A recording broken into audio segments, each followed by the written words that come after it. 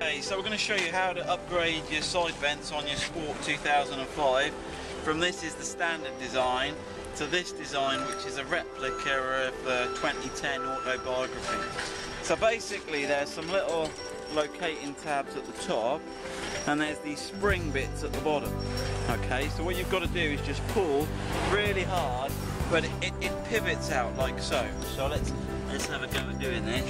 So we need to grab the bottom as, as best we can and then pull slightly up and slightly towards you okay in a, a short sharp shock. Okay. So there you see that one's down. The left hand one is actually a dummy air intake. So it comes complete the new ones we supply come complete with the dummy air box. So when you look in you can't see anything.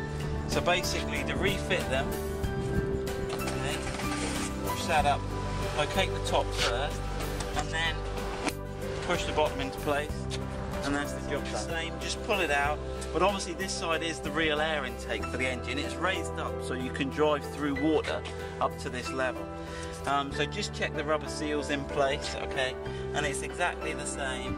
Again just locate locate and then when you're happy with that just check underneath the, the bottom tabs are in okay? And then push that into place give that a bit of a push.